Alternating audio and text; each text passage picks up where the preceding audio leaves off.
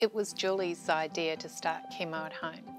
Um, she was an expert in that field and she'd been working in the public hospital system doing chemotherapy at home. I'd just always been of a really strong belief that being at home was the best place for people to be.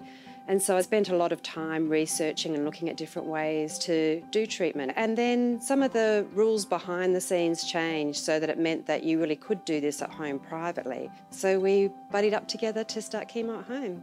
HBF was so important to our business and really engaged with us right from the beginning. I'm lucky enough to be one of the nurses at Chemo at Home. I get to meet patients like Bill every day and administer treatment in the comfort of their own home. At Chemo at Home, we can deliver a variety of treatments. We deliver treatments for diseases such as Crohn's or colitis, cancer treatments, and haematology treatments. They can be iron infusions that people need to supplement their health, as well as regular chronic infusions for chronic diseases like Bill has. It's probably about three years since I saw the inside of a uh, inside of a hospital for any length of time for anything uh, related to Crohn's. And that does give me more time for the pursuits that I want to do. It's nice to be able to get outside when you want to because it's something that you take pleasure in. I had to go to hospital for my uh, infusions prior to chemo at home. It meant getting up at seven o'clock in the morning because I had to be there by eight. It took about three hours for the infusion. When I'd finished, Margaret had to come and pick me up. So it was often after one o'clock before we got home again.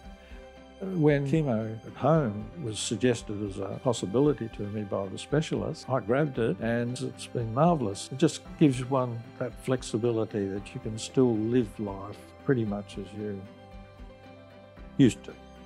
Patients have given us such wonderful feedback. They talk about how it makes their families and their partners' lives easier. It helps their family members cope with it. It's not as traumatic for them. It feels rewarding. It feels like we um, are doing something really special, um, that we are, have the ability to make that difference in our patients' lives. If an organisation like Chemo at Home can come into the picture, you can lead your life pretty much as you used to.